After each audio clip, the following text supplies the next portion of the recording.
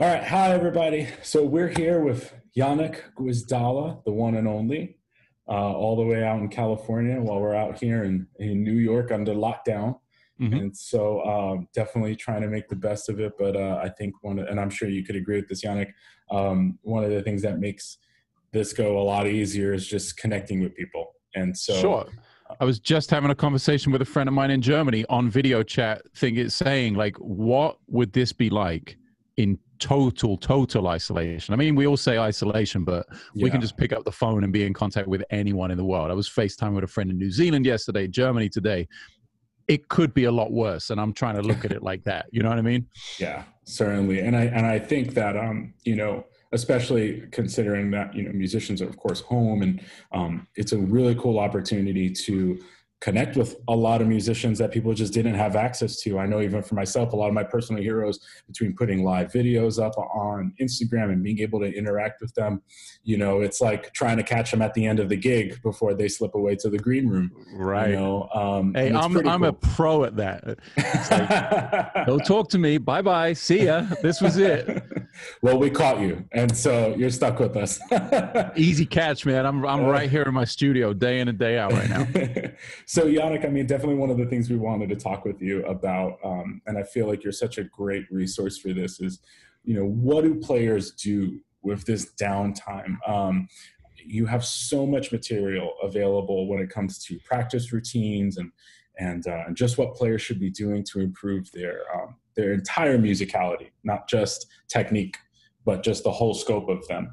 Um, but for those that might not necessarily be familiar with your work or haven't yet dived into some of your um, materials, can give us three to four great places to start, even before you start looking at sheet music or anything like that. But just what is the uh, what's the posture that players should be getting into well you've already kind of you've already answered the question before i even had a chance to speak and this is from i got this sentiment from uh, derek sivers who was the founder of cd baby is a, a blogger a, a activist he's a online guru kind of guy. He started cd baby in his bedroom in portland oregon i believe literally taking CDs from artists, mailing them up and sending them out to the customers and losing money for years and years until he eventually sold his business for, I think, $22 million some years ago. So, talk about a quick success story right there. Quick in terms of me relating it, not quick in terms of the time it took him. But his whole mantra is just start. It's exactly what he did. He didn't think and plan and oh, what if this and what if that. He just started and he learned as he went. So my my my thing always with practice is just start, especially if this period of like downtime from working is new for you and you're not a consistent practicer. You're not like I'm crazy. Let's put that out there right away. I'm on the psychotic end of the spectrum because I'm 41 years old. I've been playing the bass for 26 years, and I will still gladly, happily beg for the day to have enough time where I can put in five or six hours every single day right now. So we're talking about someone who is in me who is very much on one kind of extreme. There are more hours in the day, but at this point in your life to put in five or six hours is kind of extreme in terms of practice. But if this is a new thing to you, just start. It's literally 10 minutes a day, 20 minutes a day. You surely have it right now. Mm-hmm. There's no excuse. yeah, if there's any time for no excuse, it's now. If you come out of this social distancing isolation thing without being able to play at least five of the things you've been thinking about in the last two years, you really were not giving the day enough credit mm-hmm. uh, for how much time there is. So, Uh, you know, a thing I'm often asked is, how do you structure your routine? What does a typical practice routine look like to you? It, it, doesn't. There is no such thing as typical. There is such a thing as doing exactly what I'm about to do right now for everyone watching in the video is pick up a bass, is put it on my knee and play a couple of notes and see how it feels. If it feels great, I'm already at a good starting point of perhaps not needing to spend mm, a long time warming up. You know, it's all about paying attention to the immediate feedback of what your body gives you. So, so when you say feels great, Well, unpack that a little bit for us because I, I know from us, you know, talking personally, um, feel is always a big important part of um, and and the touch. You know, when it comes to your uh, to your instrument, that's that that's always something you're you're constantly refining. Uh, sure. Unpack that a little bit for us. What is tone? Well, what's feel? So I when when I pick up the instrument, I get a sense of brittle or not brittle it's a very personal sensation, and that's how I feel the strings and the instrument, the temperature of the room, the temperature of my hands. And if everything's warm and loose and smooth, like those kind of rounded feelings, it's so weird describing feelings with words and shapes and sounds with words because it's also personal. But as it relates to my personal experience with this, if it's more brittle and cold and tight and mm-hmm. oh you know like I, I, picture like steel girders and grayness and you know just yeah, not yeah. pleasant things to be attracted to. Sure you know i don't picture the sun or like a floaty in the swimming pool and a margarita. You know if i'm on so that not, end of this not this. Definitely not that no anyone watching online will see the sun rising behind Jordan. Yeah, no. if I'm feeling that, then it's a great starting point because I know I'm already like five steps into the process and I don't have to start at literally one note repeated quarter notes at 60 BPM just to get blood flowing. Now, check this out. It's right here on my desk. I will pull the camera down just a touch. Great warm up this is this is you know I'm a drummer before I'm a, a bass player. The drums are my first wow. instrument, so I have a practice pad here. You can just about see that in the shot. You're sure as hell going to hear it in the microphone, unfortunately. Just basic technique, trying to be light, trying to be in control, and just that action of of, of drumsticks. It, it, it's maybe counterintuitive as a bass player, but these simple things that drummers do to warm up, awesome for yeah. bass players. Pair of drumsticks, practice pad, or a pillow, really good way to go. It's just getting the blood flowing into the hands and mm-hmm. getting that warm feeling as opposed to that brittle feeling. Gotcha. That's what I'm talking about when I'm so, you know, how does it feel? So uh, uh, the phrase feel and tone usually mm-hmm. kind of come together in the same sentence. Do you do you even like the word tone? You know, we I think as bass players we're sort of inundated with videos that say, you know, discovering your tone, your tone, your tone, your tone. But what how do you respond to something like that? First of all i think that's maybe a guitar player's word. I don't i still don't think it actually makes any sense for a guitar player either because i think sound is a far better word for that. Again it's just a personal thing. We're talking about describing uh, uh, sonic landscapes with words. I think this is a dumb pursuit first of all, like how do you describe the characteristics of an octave pedal? Oh, is it crunchy here? Is it round there? I, you know, crunchy and round could be the polar opposites for you that they are for me. So mm-hmm. uh, here I am, son of a linguist. Uh, you know, eh, I know when to pick my battles and when not to when it comes to describing things with words. But I think sound is probably the the much better word. it, it is for me anyway, and it's the mm. thing that when I listen to one note, before we even get to time, because I think time and sound, you said feel mm-hmm. and tone or whatever. I think time and sound are the two words I use the most. They're the two things I think about the most. They're the two things I work on the most. And before we get to the time, because time has to have rhythm, so more than one note.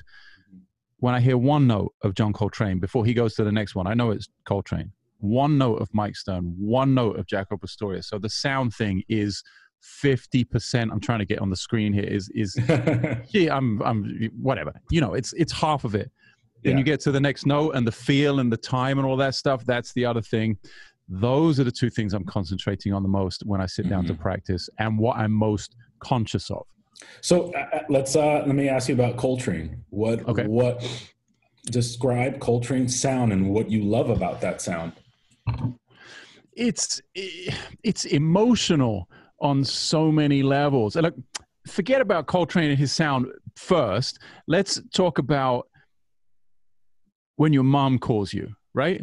Yeah. right? Not only in one yeah. word can you tell that it's your mother, mm-hmm. you can also tell what kind of mood she's in. Yeah. Right? And whether this is going to be a good or a bad conversation, whether you're about to have a good day or a bad day, mm-hmm. reprimanded or loved, you can tell all those things in one word. So when you when I when I associate the time and sound to voice and to something we all know.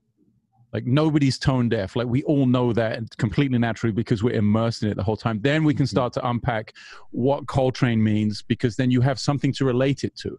You know what I mean? Use oh, so Coltrane, and it means something different to everyone. Mm-hmm and the periods of Coltrane's life where he's playing, yeah, or bebop stuff and lines, and then walls of sound, and yeah. then modal, and who he had in the band surrounding him, and complemented by Eric Dolphy here and Lee Morgan, you know, all the components. So with Coltrane sound, it like anyone whose music I love, it pushes me and mm. moves me somehow. I was uh, today interviewing one of my favorite drummers in the world, Benny Greb uh, yeah, from Germany, fantastic. and his sound, just his floor tom sound, pushes me across the stage. That I, I don't care what comes next or before or in th- I, that alone means I'll travel to the ends of the earth to make music with that guy. Yes. That is how important sound is you know, you work for Aguilar, you're surrounded by the production of sound and tone day in and day out. You know, yeah. like it, it's so interesting too. Uh, it, it, coming to like our side of the fence, you know, when people hear, um, you know, uh, amps and cabinets in combination, you know, of course, like some of the first questions are, what, what is this warm and is this bright? Is this, and, and and I always love, especially when artists come to the loft and we were able to go through everything. And sound is so much more personal and nuanced than I think people give credit to. Big and time. so, you know, I've had a lot of people come in and and they love actually how everything sounds, but you know, there's there's something that emotionally connects with them. So, you know, especially with like the cabinets, you know, the SLs and the DBs, two sure. different flavors. No one is right for every person. Um, yep. But I, I, I always end up leading with the question: What, what when you plug into feels at home?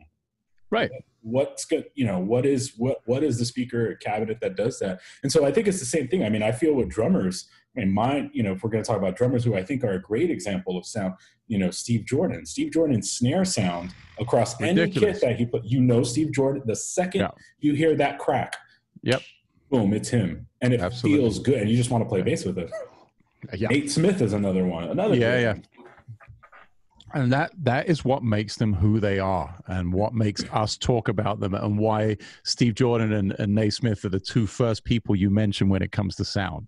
Yeah. you know uh, benny greb said an interesting thing today. He's like something along the lines of uh, oh i really want to get this right. It was just about if your time and your sound are together um, you won't have to explain that to anyone. People will ask you about it you know, mm-hmm. because it's so strong. It's like such a part of your voice. And going back to the amp thing with people coming in and trying amps, I'm always of the of the mindset of okay, where do I hear my sound? And then how close is what's coming out of that speaker what I heard, mm-hmm. you know, mm-hmm. preconceived beforehand. That's how I arrived yeah. at the 12 inch cabinets, mm-hmm. the Tone Hammer 500. It was that was my I found my combination. Yeah. And that's always what I'm looking for you know yeah. and, and when that changes room to room stage to stage band to band studio uh, small club big stadium like and you have to adjust and and you know dial in your range uh, but still have that nucleus that foundation of what is your natural sound literally unplugged sound of the instrument and the fingers and the wood yeah i think it's like uh, i mean to take it out of music it's it's that worn in pair of jeans oh yeah know? The, right, the worst feeling is uh, jeans that are just not comfortable, but worn jeans are like, there's no better feeling. You want to be in them all day. So, how does time now bridge into this? Well, don't suck at it because I won't be listening to you very long if you do. No, I mean, no, that's it is my biggest like peeve when I listen to music, and it's the thing that immediately jumps out, along with the sound, of course. That I'm like, oh, I'm, I'm, I'm really attracted to this. Like, this is something I can get inside of and want to hear more of. And the time, well, it's about experience. I think at the end of the day, you know, how wide and how broad and how long is your experience of hearing different time, of feeling different time, and of playing different time, and then being in complete control as I am with you in the pace of this conversation. If I started to talk like this, you would press the button to hang up. It, uh, how boring is that? You know, like, it's, so it's about range to me. And the great like let's talk about drummers because i love drummers let's talk about questlove and talk about sound yeah. and where to put the beat and steve jordan where to put the beat as well you know like a keith richards song is like super different from like a john mayer trio song or you know uh any number of like blues records he's played on and punk stuff. Like he really has the range of motion. Like yeah. here's the beat, and he can play right in the center and in front and behind and make them all feel good. Yeah, you know? that's a great so way I, of doing it. Yeah, I think that's what I'm thinking about with time. You know, and of course yeah. the process of getting that to, to that and and that feeling of relaxation is surrounding yourself with people who are way better at it than you mm. you know and whose people's time uh, and feel that you like and you're attracted to and emo- uh, is motivating to make you work harder on it you know yeah and i think you know too uh, finding people whose time and and the the sound of their time because that's you're right i i like the whole front because uh, a quarter note is not a oh there's no, there's no, a, it's so wide and, I, it was from i think I, actually if i remember correctly i think it was from one of steve jordan's instructional videos from from a, a while back. he okay. said, you know, the quarter note, it's got a front and a back to it. It's still mm. a hmm. quarter note. Well, there you go. Yeah. Where, we're lining up on that could mean the difference between uh, reggae and and being like being on top of the beat is not necessarily a bad thing if right. feeling you know right. And so how how as a as a bass player now where so we've been talking about drummers but what in your experience what what's the relationship as a bass player you know to a drummer who has the ability to dance around it? Do you find like with benny greb and people like that that it inspires you to play with time differently? Or oh, yeah. do you find yourself being able to like trying to be the the pillar in the band i think we all first of all i think everyone in the band has to be equally responsible for the time. That is not the drummer's job. That's not the bass player's job. It's not the monitor guy's job. I think everyone has got to be responsible. And then when you operate from that you know point of honesty and and point of like you know do you have the chops to be that responsible for the time you know like let's see what level you're operating on when you do like with benny greb's trio for instance when we're in that situation all three of us have fantastic time. Not only do we have fantastic time, but we all agree on like uh, that like we immediately agree, even though it changes from song to song, sometimes from section to section, we all have an agreement on how wide that quarter note is. Mm. And we expand and contract that accordingly. Um, and I think it's the ability to adapt and to be flexible in the moment, truly improvising and we could be playing a Toto song. Not that we ever would, but we could be playing a Toto song and still improvising. D- despite the fact we're playing the exact notes of the album of Toto, we could still be improvising by expanding and contracting the size of the quarter note and where we agree on what that is and what that framework is, just for the just for the time feel. So, yeah, and we've well, so you and I have talked about this a little bit in the past, but you know what the the balance of your practice routine mm. contributing to this, uh, you know, developing, and this being done in community with other musicians, and then listening. You've talked about all three sort of being in connection with each other. Um, how you know how does some, okay? We've talked about time, sound. How does this now come back to when I'm in my chair in my living room? I'm picking up my bass. What are some of the things that I should be mindful of or tools that help that? I think uh, really important not to overplay. And I'm talking about the velocity with which, especially if you practice quietly, if you're in an apartment situation, which I was for most of my adult life until very recently, living, having the luxury of living in a house, I can play a little louder, not overpowering uh, the situation from an acoustic standpoint on the instrument. You know, not trying to push too hard because you know that if you crank that amp and you're playing that hard, it's just going to distort and fart and not be your sound at all. So really playing for the level of where you're practicing. On the on the flip side of that, every single time I leave town and go on the road, it's two or three shows before I feel comfortable on a tour and it just every single time highlights the importance of playing live and playing with other people because you just cannot get it done at home this is something i'm not flexible on with my opinion at all. Like you can debate me until the cows come home, but I know from personal experience you cannot replicate the communication, the the air moving, the amount of people to interact with, the inspiration. You can't replicate that on your own. I'm you know I'm the big fan of the loop pedal. I'm the big fan of you know making play along tracks and jamming along with it. I do it in my videos all the time, but it's no substitute mm. for actually getting out there and doing it. And that's where it really happens. Like if you listen to Pat Metheny interviews, the common thread for 30, 40 years or whatever has, and you know, people say, Hey, how are you this consistent? How do you have this sound? How do you, have you accomplished all this? One of the biggest underlying factors is that he says, well, I've been able to do it on stage mm. every night for 40 years. Like that is the key. And this is the extreme. We're talking about an extreme, like 200 plus shows every year for 40 years. Yeah. Holy cow. The Eagles haven't done that.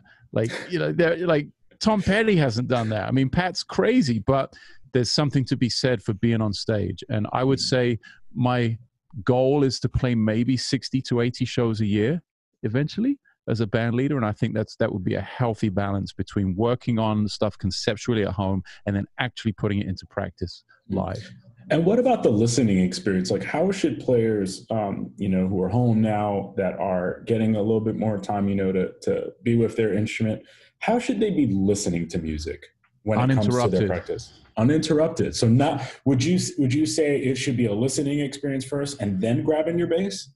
Uh, oh yeah For sure. I mean like my thing has always been because until this point there has been no pandemic in my lifetime. So i've always been on the move in 20 different places at the same time. So yeah my listening process for the most part has been completely interrupted because it's a four bar phrase. I'm like okay i got the four bar phrase. Let's grab the instrument. Let's figure out that what that was because i didn't understand it right away.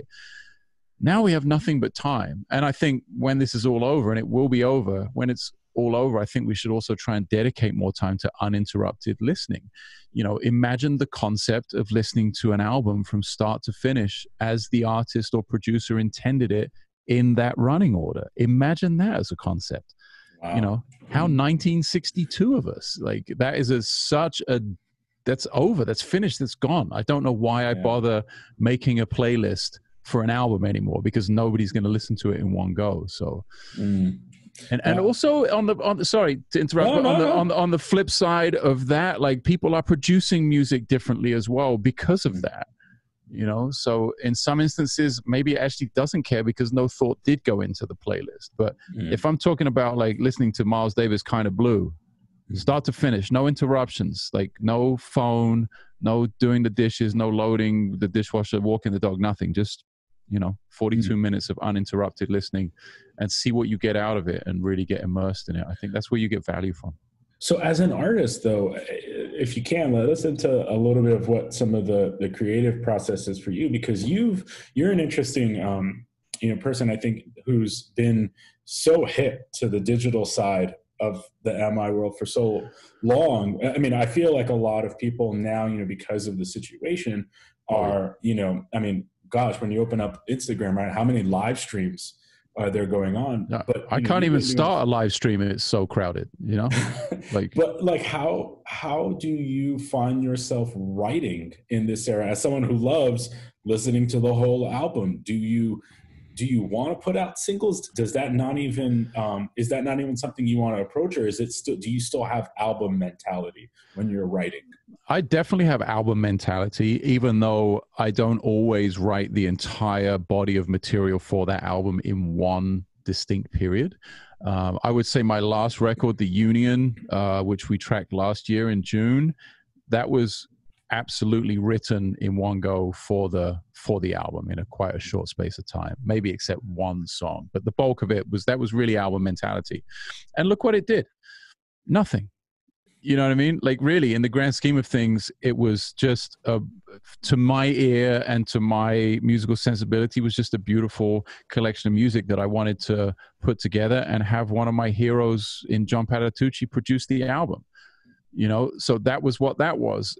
My next project, if if I can get it together, will be a trio with Tim Miller and Brian Blade, because I think they have two of the most symphonic sounds uh, of any musician I've ever heard. So yeah, I'm not making albums for commercial value. I'm not making albums for spins, plays, streams, downloads, follows, financial gain, none of it. So my I have the luxury of being having an album mentality, I would say. You know. And, and so oh go ahead, yeah. I'm, I'm just not forced yeah, to do yeah, anything yeah. except what I want in, in that sense. I, I guess it's interesting because right to an extent no one is at this point they could put out a single if they wanted to. No one is forced, but plenty of people believe they are. And plenty of people try to conform and try to think, oh, there's a formula and I should be in this box. And this is the thing that will bring me success. You know, I think so could, a lot of people like that. Yeah, I, definitely. I could agree. I mean, so keeping on the thread of albums, what's Janek spinning these days? Oh, geez. Uh, um, I've been asked this question a lot in the last few months, so I feel I've overused this album. But really, I'm still, I haven't even really dug as deep into it as I can, even though I think I'm at least 150 plays into it, complete from start to finish. It's by Shai Maestro. It's called Dream Thief, and it's on ECM Records. And I just think the way Manfred Eicher records pianos and just records albums in general is insane. So it's another thing about listening. I'm not just listening to the music. I'm listening to the production value and the techniques. And now we're afforded this kind of behind the scenes look. Sometimes on YouTube, there's a little 60 second clip of those guys in the studio making that album.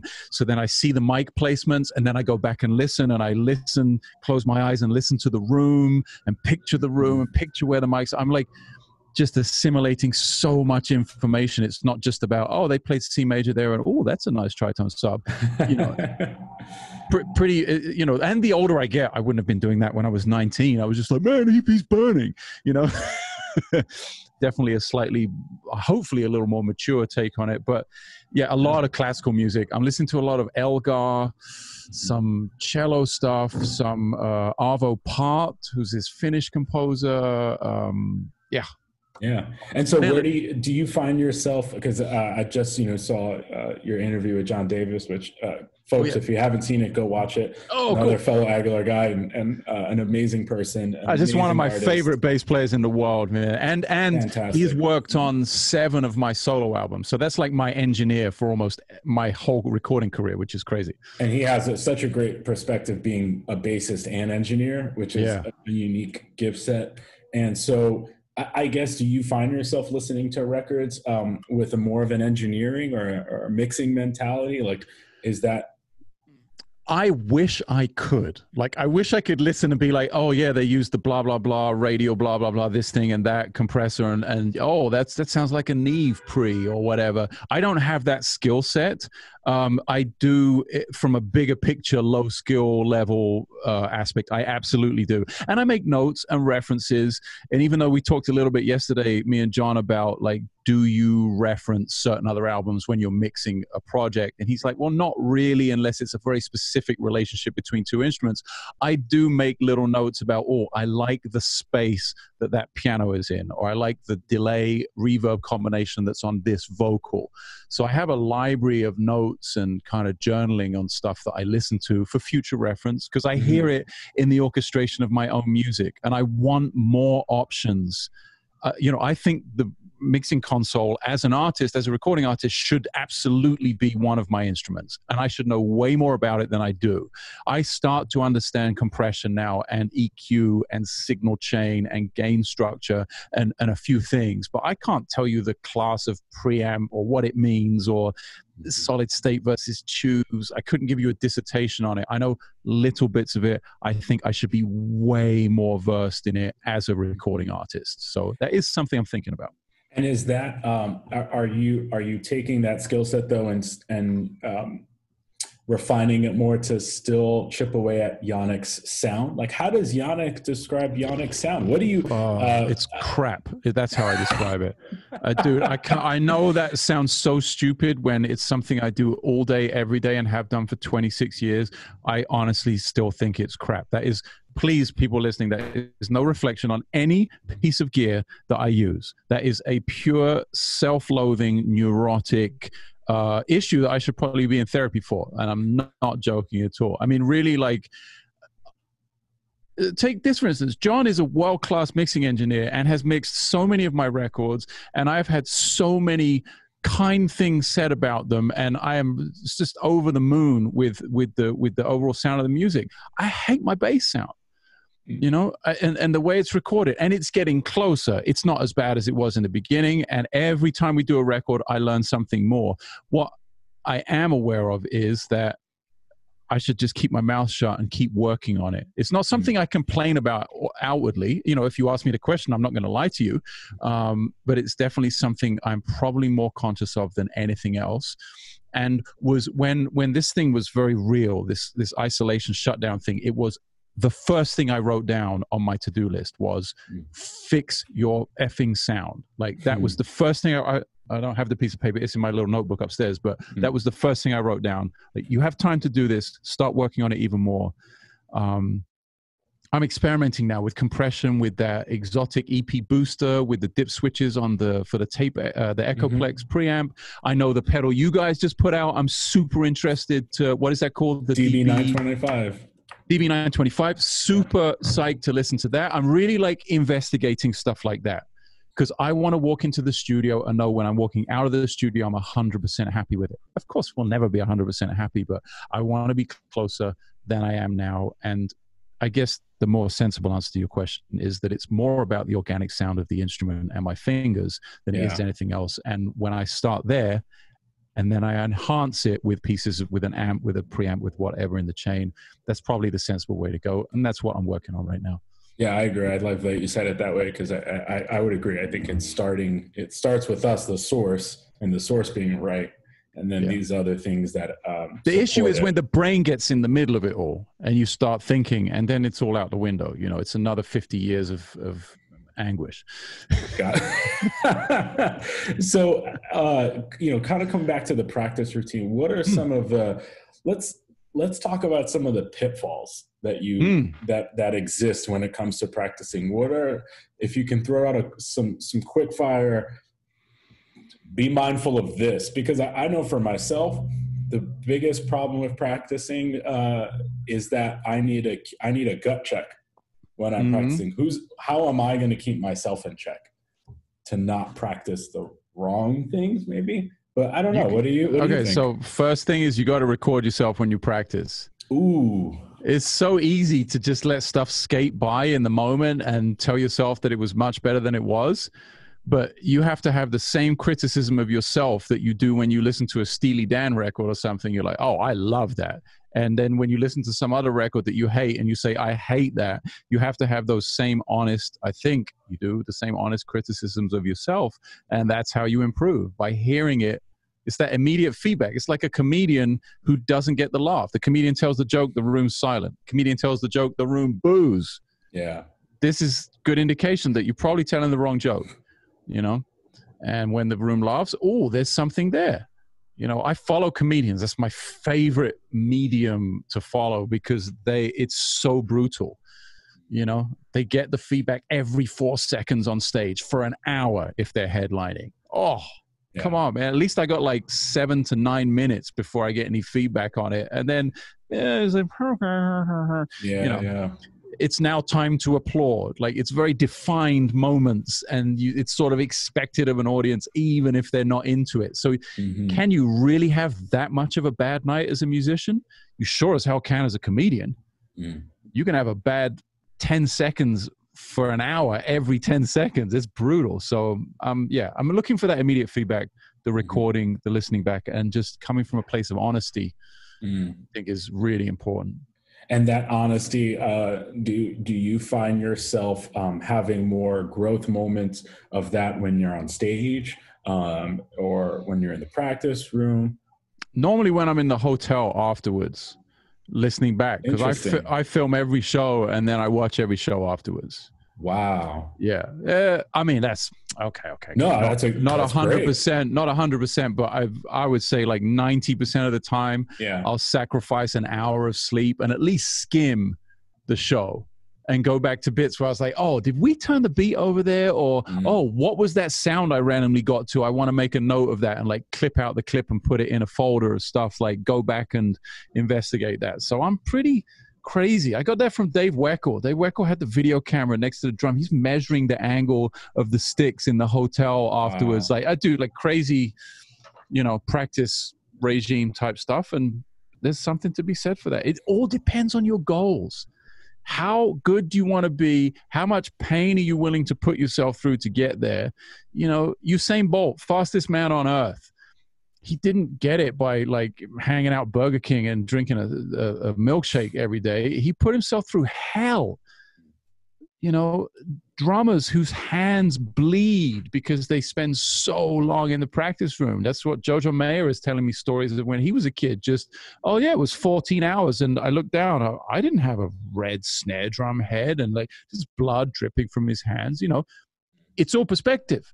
Or do you want to learn how to play Katy Perry's new song? In which case, probably don't need to let your hands bleed. Unless you want to play it with Katy Perry, then you've got 15 years of nonsense to go through to get to that point, yeah, and probably still not worth it in the end. Wow, it's yeah. so. Let's let's talk about your favorite thing. And by the way, the pedal studio. Holy smokes! Great episode opening. Oh, that, thanks, man. That uh, animation at the beginning, so cool. Season opener. We, we we went strong. Now the pressure is on to like keep it up. I'm like, oh, what have I done? I've given myself yet another full time job, yeah. producing a TV show once a week. Pretty cool. I, am loving it though. This that's fantastic. This thing is a beast as well. This synth pedal, unbelievable. That's great. Yeah. So, like, what what tell tell us about the pitfalls there because I mean, pedals are just there's such a wild world out there, but how they become um, like we've been talking about something that enhances the source. Yeah. What do you got to keep in mind when you start bringing that into to a gig or? So I'm a huge fan of, uh, and I'm going to butcher his last name, Chris Lord Alge, or mm-hmm. you know the the, mixing yeah. engineer like Muse and uh, Kelly Clarkson. He's mixed major, major records. I've been watching a lot of videos of him when he goes to the console and he takes out like a guitar track, and he grabs the EQ and he spikes the mid range like to hundred percent, and you're like, oh god, it sounds horrible, and then he dials it back, and when he's dialed it back and found the soft, the, the sweet spot, it's like, wow. And it might even have been a dB and a half away from where he started out, but it was like a complete transformation and enhanced the sound. That's what I like to do with pedals. I like to see what the extreme of the pedal is, then how I can dial that back to something that's functional and also not functional. I like the weirdness. You know, it's it's it's also a balance. You know, in 2017, I did maybe 80 or 90 solo concerts. It was called the Last Minute World Tour. Mm-hmm. I went solo around the world playing solo bass concerts, and I got to some weirdness. I got to some weird sounds every night, and I was all about just opening something up and going with it and smashing it through a reverb and a delay and looping it and sampling. That's not great if you're in a band, you know. Mm. It's like you show up with a pedal board as a bass player in a band, and everyone looks at you like, "Oh no, how how long is this guy going to be here?" You know. So it's really being aware of your surroundings, and I, I'm I'm now, like I was saying a little bit before, I'm so into the presence of the clean sound. And I say mm-hmm. clean in inverted commas because there are a few things in there little light compression, little preamp, uh, the EQ in the amp, of course. Maybe I'm mm-hmm. using the Noble for recording sometimes. Maybe I'm using the Tone Hammer pedal sometimes. Mm-hmm. You know, I'm really interested in the integrity of the natural bass sound. Mm. Um, that's something I'm working on right now. And everything else is just a little flavor and it's very, very personal. Mm. Um, you know? That's awesome. Uh, it's it, it's true. I think there's a you know there, with effect pedals, you're right. There is sometimes the extreme where it's it's musical, and I think you know how how we work to keep it musical is so is so important. Right. Um, if not, it's just it can be noise. You know? And it can be a total rabbit hole and a trap because, like, I really want to use the Meris Ottobit Junior. I think it is ridiculously plush in certain areas, and the randomness and the how how am I, am I really going to use that? Am I really going to have another MIDI switcher on the board to control one pedal on a completely other different routing and blah blah blah? It's mm. some of these things become hobby projects at home, perhaps for recording more than live. I definitely want to make the differentiation between a live rig that works with a little uh, loop system in it, so I can switch in a pedal de jour, perhaps, so, so mm-hmm. I can mm-hmm. add something, but something that's like that's it, it's set. And then have other stuff that I experiment with and like get into my you know crazy the wall yeah. The wall yeah. The, the, the, wall. And i love the shelves. The wall yeah. But but so now how does how has that been inspiring your writing these days? Do, well do pedals you... push the way you play you know? You know I, like this pedal is set in 20 different ways could make me play in 20 different ways. And so I, I am trying not to write from the bass. I'm trying to write from the ear more than anything, not even the piano. Like just having, really? yeah, just singing the melodies. It's something I was conscious of like early on. First record, Mystery to Me, 2004. Mm-hmm. We did that. It's like 16, geez, 16 years ago. I was really conscious of not writing from the bass to make it not be a bass record Mm-hmm. You know what I mean? Like you hear bass records and it's like the slap thing or the super unison line thing or, or the, the real generic things that bass players have. They have their favorite weapon and they want to use it all the time. And then that, mm-hmm. when that mm-hmm. gets into the writing process, that's a little, I think that's when you start to become a little dishonest, not just with yourself, but with your audience. You know? Mm-hmm. Well, let's talk. Let's talk about some of your albums because, you know, you just said something oh. uh, that I think, um, well, I've been thinking about, which is uh, songs and albums that um, don't have some of those qualities, but are just musically they're just there. And your album, "The Space in Between," uh, oh. from 2010, I believe, right? Yeah, yeah. Um, a, an album with a lot of space, uh, particularly the song uh, "Next," which. Oh, yeah. um, man, tell us a little bit about that because that is a good chunk of time of not much happening. But I mean, you listen to it. I don't smoke weed. I don't do any drugs or anything. I'm like the most straight laced guy. But you listen to that and you think, oh, was Jerry Garcia producing this record? Like, mm. you know, like it's a little little spaced out and smoked out. But next, I mean, that's I'm I'm. Let me see here. Let me pull it up eight minutes and 31 seconds. First of all, what was I thinking? Eight minutes and 31 seconds. Unbelievable. I'm making albums that long right now. You know what I mean? Like, um, but yeah, it was that record kind of came together out of a main session, a main tracking session in Brooklyn at the original Bunker Studios in the basement. Oh, uh, cool. uh, so John did that. That was the first record we worked on of mine together. Um, and it was JoJo, Tim Miller, myself, and Mike Stern tracking live in the studio that day. And then I added a bunch of stuff. The trumpet you hear on next. So mm-hmm. check this out. I don't know if I've ever talked about this. Now I'm questioning whether I should. Okay, no, I will. I will. Um, the trumpet on next is a take from a completely different song. Wow. That is in B flat major and next is in A A. So wow. they're a half step apart and they're from completely different songs. And because the trumpet was recorded remotely, I had complete isolation because I was just getting the trumpet files from my buddy Odin in Spain. So yeah, when you listen to the really out stuff, I'm not trying to out him as oh well he didn't really play hip on it. Like it was just the way I heard it putting it together like one of those it was one of the first time actually I was doing it because this is my second no this is my third album. It was the first time I was doing anything where I put it together after the fact. Mm. Mystery to Me was recorded live in one take in front of a studio audience um, in 2004 and live at the 55 bar was although we did four sets we used a complete set uh, to make that album. So this was the first time I was kind of piecing things together, and I just heard it. I was like, "Wow, this is mm. some different shit," and let's try. And it, it, worked out. You know, would this be would this qualify as uh, as an album, or and even this song next as uh, to what you've been sharing with us? You know, writing music from hearing sound as opposed oh, to a hundred percent. Yeah, you know, uh, it was very orchestrated and arranged in the previous two records because there were horns. It was large ensemble. It was like eight piece and seven piece bands. The first two albums, and then this had a bunch of people on it: Mike Stern, Airto, James Valentine, Doug Wamble. So that's four people plus the rhythm section of three people. So it had still seven people, but very orchestrated. Like Carrot Juice, for instance, is just me and Airto, just me and Airto, I think just a duo. So yeah, very different ranges in the album, and definitely from a hearing standpoint, you know, like looking at all the pieces and kind of putting them together. And also, I mean, I, you you covered twice, which is one of you know my favorite oh, songs. Oh yeah, from Little Dragon. You know, so uh, tell us a little bit about that. You know, how uh, as so as an artist, you know, covering it. I mean, cover records, of course, are are a big. Thing, well, I was but, on you know, tour with them for a couple.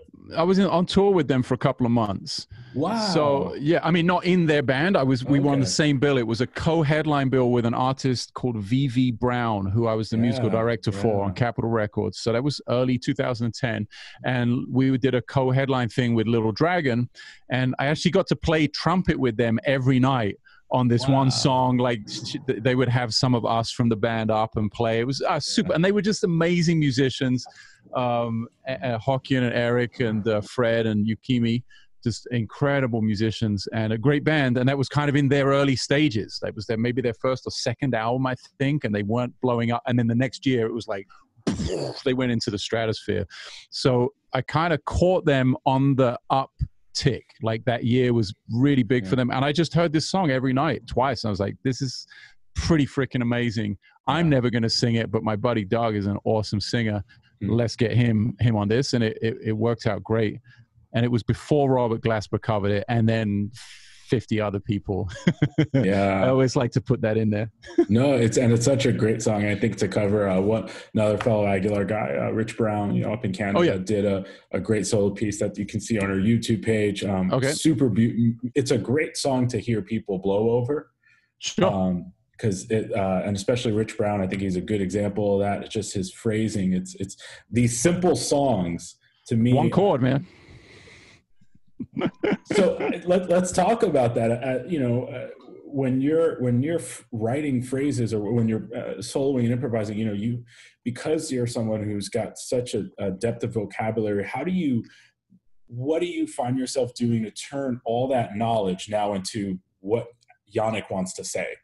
Let's say on a solo it's repetition. I mean, it's it's exactly the same as we all started out. Google get get get get get that the mama. We started out like that, not really being able to communicate, and then we were so immersed in it, and we did it every day from our parents, from our siblings, from our schoolmates, university friends, whatever, adult friends. That it's so natural, and I think that gets lost a little bit when it comes to improvisation with music in it's such a cliche sounding thing to say that oh music's just a language but don't like give give that phrase its credit because it really is. And when you start to think about it that way you have to really start to think about the way you would truly learn to be fluent in another language. And the questions like, hey, do you have any tips on improvising? Do you have any tips on this? Do you have a hack? Do you have the one scale that works over 20 chords? Actually, no, I don't. I have, if you truly want to improvise, I have 20 years of hard work to build a foundation and and then another 40 years of maybe being successful 50% of the time 40% of the time when you actually do it live the reality is far more brutal than i think the average person who's asking that question about how do I improvise really understands. Um, so eh, there's no one thing. There's no the only two things I'm ever and I try not to be conscious of anything when I play because I'm looking for that flow state. I'm looking to be in the zone and have no distractions. The only two things I will ever really be conscious of is rep, are repetition and change. When so you when say I, repetition, what do you mean by that? So when I'm improvising, if I have an idea,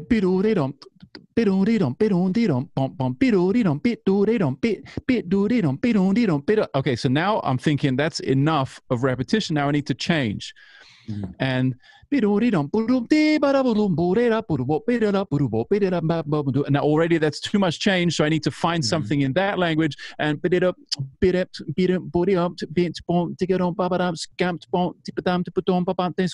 you know, and develop a, a new idea. So it's a constant changing of repetition and change and motivic development and being able to of course have the vocabulary the fluidity and the flexibility to do that through chord changes to do that modally to do that free on the form to do that time no changes so many different frameworks that you can put that ability to improvise into you know?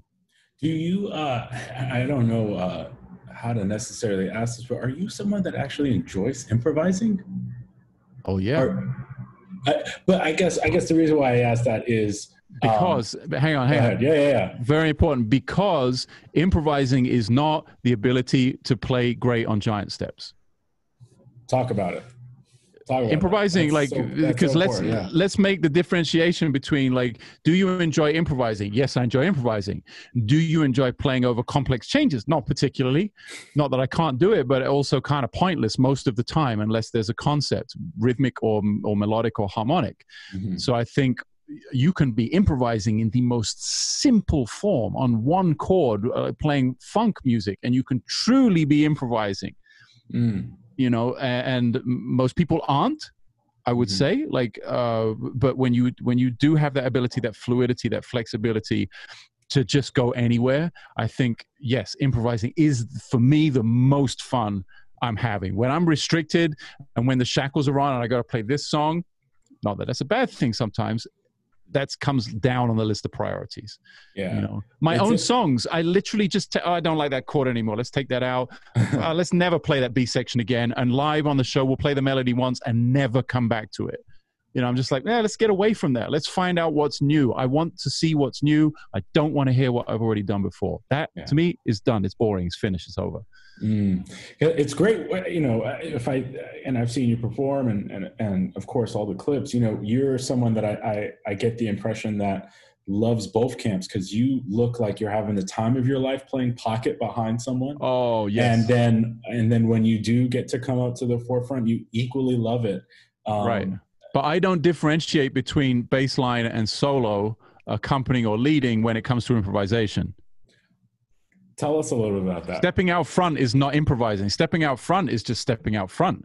If you're crap at improvising, it's going to be just as crap as when you were standing in the back. So you, you got to have that skill set to truly improvise and interact and communicate with everyone around you. It can be one sixteenth note just added to a groove, and that's improvising. And it was a reaction to a little splash cymbal hit or something. You know uh, that that's the fun. You know, with Benny Greb's band, I actually not a fan of playing like melodies, like high melodies and distinct solos. I like the improvising within the confines of the rhythm section and playing low and playing with the pedals and the synths and all kinds of stuff. You know, so I think just stepping out front and playing a solo, not necessarily improvising. Mm. You know? And so, so how do like? because that also uh, I feel like could be dangerous to tell someone when you're playing pocket, you know, you're improvising. But how do you how do you bring that world of of uh, being a foundational you know musician, but also uh, speaking and saying what you want to say in that role? Uh, by playing along to Meshell Ndegeocello records for a decade. Uh, yeah. I, like plantation lullabies is what did it for me with the groove you know, digging you like an old soul record, uh, boyfriend, like those kind of tracks. Just the ability to go back to that. And she is just a ridiculously great bass player. Like, if I had to make a top five list of all time bass players, she would, uh, no way she would not be on it. It has to be there. One of my biggest influences as a bass player. And just the ability to have that foundation and that sound in my ear, like that jazz bass, thick in the pocket, locked in with Gene Lake or JoJo or whoever the drummer was in the band at, the time, Sean Rickman, any of those guys, just that in the background means okay, I can just hit, I can hit the eject button and go back to that and get out of my own way immediately. So having that kind of fundamental foundational element of your playing super important. Whether that's from Bootsy Collins with James uh, with James Brown, or whether that's like James Jamerson with any Motown record, whatever your foundation is, have that to go back to, and you'll generally find you won't get in the way of what's going on in the band. Yeah. and really just little bits just like put your toe in the water here and there you're going to build experience over time it's all about experience you can't yeah. get that on youtube can't get that. You can't buy that. It's not in a book. You know, look at me. I'm a you. I'm a book salesman essentially, and I'm telling you, it's not in a book. Um, so go out and get on stage and do it. Do it that way. That's yeah, and she's definitely someone, guys. You should uh, try and see her live. I remember last time oh, I saw yeah. her was at Nublu, um, and what was so fun uh, to watch her um, play pocket but um, uh, the joy she would she i remember she tucked herself behind the amp she didn't want to be seen yeah. Yeah, yeah. But you could hear in her playing oh. how in tune she was to every little nuance and just 100%. smiling, grin to grin. And I was there with my wife, and to see uh, my wife um, just dancing, to hear music where you just have to move. And she's another one, and I want to hear your thoughts. But her time is it's huge. unbelievable. I I attribute anything I do in time. I pretty much attribute to her. You know, there's because I just have that implanted in my brain. I thank my buddy Jeff Gascoigne, great bass player in the UK, who told me about those records super early on. He also told me about like Art Pepper meets the Rhythm section and you Wayne Shorter Speak No Evil, but he's like, man, you should really check out that shit too, because that's really the foundation and and it was plantation lullabies and peace beyond passion those first two records and then bitter that was a little different mm-hmm. trajectory but yeah and just watching her live and then seeing mm-hmm. her play a little synth bass or keyboards or whatever yeah. it is the, just the feel and what she exudes is super positive musically speaking sometimes she has yeah. some edgy opinions and political views and very kind of racy songs that she writes and sings but what's coming out musically uh, regardless of your political stance, is just undeniably positive. I think, yeah. and and imagine that. What a concept! Dancing to music.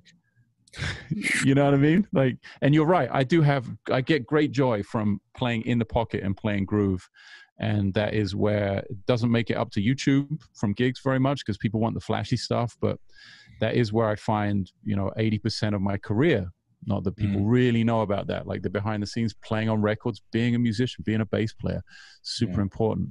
We uh, should watch our time here because we only have three minutes before yeah. the hour. yeah, we're, we're, we're, keeping an eye. We've uh, Zoom, uh, who yeah. is uh, pretty much the worldwide provider right now of yeah, telecommunication. Right? Um, I guess before we go uh, yes. and wrap up, the, the, the wonderful Chelsea Gwizdala. Oh, yeah. Come on. I'm her biggest fan. I mean, she's destroying it. I mean, and like just crushing it the last six months, working with Kanye West, uh, yeah. playing on the new Beyonce record, playing with Beyonce live, doing the Kobe Bryant tribute. I mean, just insane levels of of stuff. I am like just wake up proud every day, you know, and I I get stuff from her from the way she plays upright bass, uh, the way she can not touch the instrument for a month and then go play beautifully in tune with a section like she's doing it all day every day. It's insane. And she I mean, sings in tune. She knows like 800 standards all the words wow. and can sing them in any key. I mean the if if you guys follow at Chelsea on bass, um, if you want to check her out, and we have a podcast called Two Bass Hit. It's at two bass.hit on Instagram. You can follow us there. I'm at Janek Gwizdala. So I'm I'm always champion championing her. There you go. Jesus, vocabulary's going uh, every day. So you can you can check that out and uh, give her a follow. She's what's bad, what's what's the I guess the biggest thing from her, whether that be musical or or in life, that you say okay, I, I'm, I got to go after that. She inspires me there. I mean, I know she inspires. It's twenty. It's, it's, tw- it's twenty twenty, and she's still trying to be a musician. I think that's inspiring in itself. And not only is she trying to do it, she's doing it as a woman in a male-dominated world, and is being super successful. Takes no shit from anyone, and really s- stands up for herself. And it's not about male-female and it's about she's a great musician and uh, and has a, a, ton of other skill sets of graphic design and copyright, uh, you know, music copying and all this orchestration, all this other stuff that barely even get to the forefront. And I think that is a super powerful thing to have. Mm. And uh, yeah, I'm very very proud of her. I'm very inspired by her every day. And as an upright player, how do you how do you take some of the um, how do you take some of that upright world that's around you now and, and does that come over to your electric side? Does it inspire what you do? Do you hear tone time and sound different i hear all of those things. I love her time and her sound. I'm just scared of the instrument and uh yeah I, I i let her, i leave i leave it to her. Like at her, her wedding at her wedding at our wedding she said that she was her dad said actually in his speech that it was like great that we kind of both do the same thing, but at the same time, we do completely different things as bass players. So there's no competition. I think that is what keeps us healthy, keeps us inspiring each other, and makes it like great fun to be around. You know. Yeah, Janek, tell for uh, for people that don't know where what can, where can they find you? Uh, yeah. How can they get some of your your practicing resources? Tell us. Physical books are on Amazon. They ship worldwide within a day or so. You can go to my store, store.janekgwizdala.com for all the books, the videos, janekspacestudio.com. Uh, follow me on Instagram at Janek and check out the YouTube channel. So many shows and episodes every week. Um, yeah, it's all there. Awesome. Well, Janek, thank you so much for taking the time with us. We made yeah, the time mark. Cool. Love you, brother, and best of you out there in LA. All right. All right. Thank you, man. Have a good one.